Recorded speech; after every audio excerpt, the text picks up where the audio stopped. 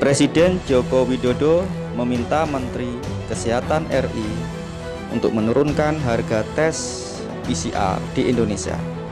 Jokowi meminta harga tes PCR berada di kisaran 450.000 hingga 550.000. Jokowi berpendapat diturunkannya harga tes PCR menjadi salah satu cara memperbanyak testing saya sudah berbicara dengan Menteri Kesehatan mengenai hal ini.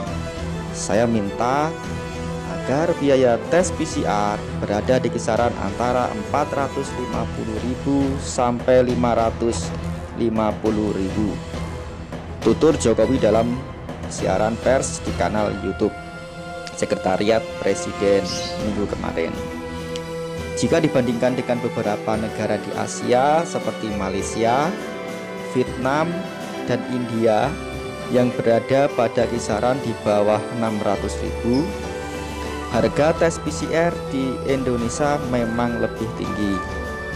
Kementerian Kesehatan pada 5 Oktober 2020 telah menetapkan batasan tarif tertinggi tes PCR 900.000 aturan tersebut dimuat dalam surat edaran nomor HK titik 02 titik 02 garis miring 1 garis miring 3713 tentang batasan tarif tertinggi pemeriksaan real time PCR. Tarif berlaku bagi masyarakat yang melakukan tes PCR secara mandiri. Kecepatan hasil ternyata testing menjadi salah satu bagian penting dalam penanganan COVID-19 ini.